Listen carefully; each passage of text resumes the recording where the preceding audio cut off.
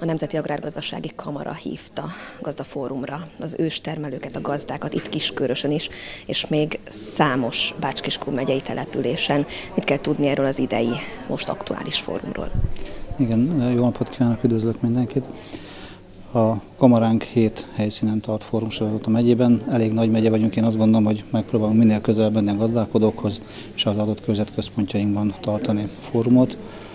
Hát a témáink egyrészt, ami napi aktuális téma, én azt gondolom most az őstömei adózási, ugye adóbevallás beadási időszak előtt állunk, és az új földtörvényel kapcsolatban én azt gondolom, hogy meg kell ismerteső gazdálkodókkal a mindennapi információkat.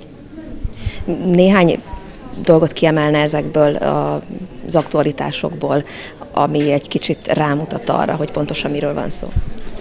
Hát az adózással kapcsolatban én nem vagyok adózási szakember, azt, azt az előadóra bíznám. Igazándiból itt, ami fontos változás, amit a szociális adóhozzájárulás befizetési változás van, ami, ami egyébként egy komoly változás most. Nagyobb változás az egész őstermi adózással kapcsolatban fél évtől várható, és a törvény is jövő januártól fog életbe lépni, amit már várunk a családi mezőgazdasági vállalkozásoknak a bevezetése. Az lesz egy nagyobb volumenű, de viszont úgy gondoltuk, hogy ez is egy olyan változás, amit meg kell, hogy ismerjenek mindenképpen.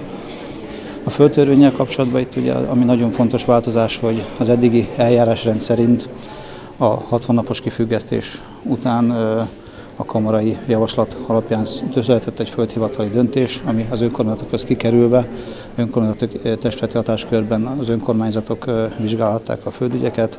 Az új földtörvény szerint ez a szakasz az elbírásnak ez kikerül belőle, tehát gyakorlatilag a helyben lakó gazdák, a helyiek fogják tudni eldönteni, hogy a birtokpolitika merre alakuljon a településeken, és a helyi gazdák véleménye alapján a kamarai elnöki döntés fog gyakorlatilag véglegesítődni, tehát gyakorlatilag az lesz a földhivatal határozott alapja. Én azt gondolom, hogy ez a leglényegesebb, hogy a birtokpolitikát a gazdák folytassák, ne az önkormányzatokban, ne a bíróságokon dőljön el ez a üzenete. Ez hozhat változásokat? Én azt gondolom, hogy igen. Nagyon nagy és nehéz feladat volt ez egyébként az önkormányzatnak, és maguk az önkormányzatok is kérték, hogy ez, ez a teher legyen véve, véve vállukra, mert nagyon nehéz úgymond helyi politikusoknak döntést hozni abban, hogy az egyik vagy a másik gazda legyen a elővásárlása jogosult. Én azt gondolom, hogy a gazdák egymás között tudják ezt eldönteni, hogy mégis melyik a jobb választás. Néhány ilyen fórumon már túl vannak, ugye ez egy fórum sorozat. Kérdezhettek is a gazdák, tehát oda-vissza ment az információcsere?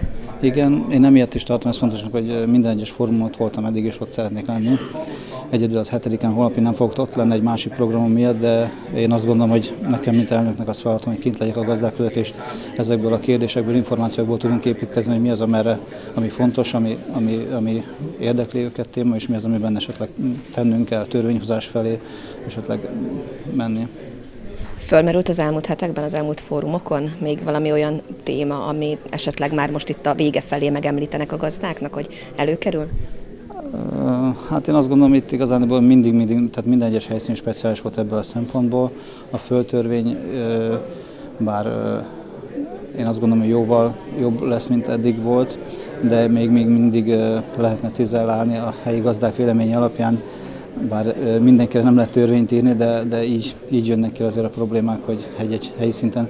Egyébként ami nagyon fontos, a, és ami, amit mindenkit mozgat az osztatlan közösök kapcsolatos problémák. Én remélem, hogy második félben ezekre is megoldások fognak születni a törvényhozók részéről, mert, mert áldatlan állapotok vannak. Tehát tudunk olyan területről, 8,5 hektáros területről, 1600 tulajdonos van benne, tehát gyakorlatilag élhetetlen a dolog, így nem művelhetetlen, nem lehet előrelépni.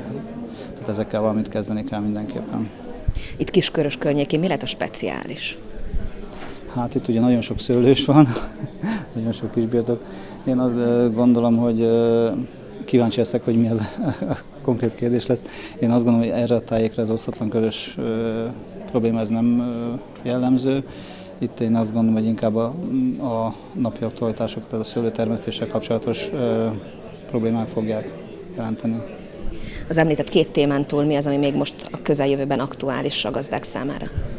Hát, ö, amit én megemlítenék mindenképpen március 20-áig az őstömény gazolványok meghosszabbítása, Szeretném felhívni a figyelmet, hogy senki ne felejtse el, mert jogveszti a hatályú a dolog. Tehát akkor jogfolytonos egy még az hogyha 20-áig meghosszabbították. Sajnos van néhány problémás eset most is, ahol elfelejtették a megyében egy-két gazda meghosszabbítani tavaly évben, és sajnos az adóhatóság ezt elég keményen bünteti. A másik a március 31-ig a nitrát jelentések, akik nitrát érzékeny területen gazdálkodnak, ők ezt mindenképpen tegyék meg a nitrát jelentésüket.